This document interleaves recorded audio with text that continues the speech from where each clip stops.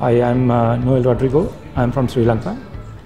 Uh, I'm here with an invitation by Mr. Rohit Verma, and I'm part of the uh, partly a co-sponsor.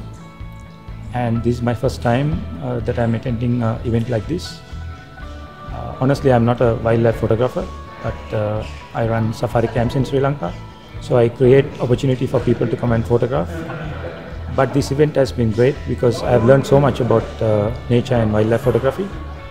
And to bring people together like this and educate them in uh, how to improve their skills is a great thing. So it's a great pleasure for me to be here and to be part of this. And uh, I'm enjoying every moment.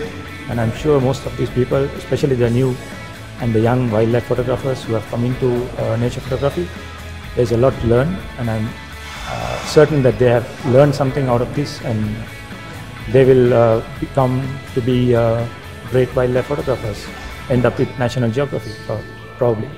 Thank you.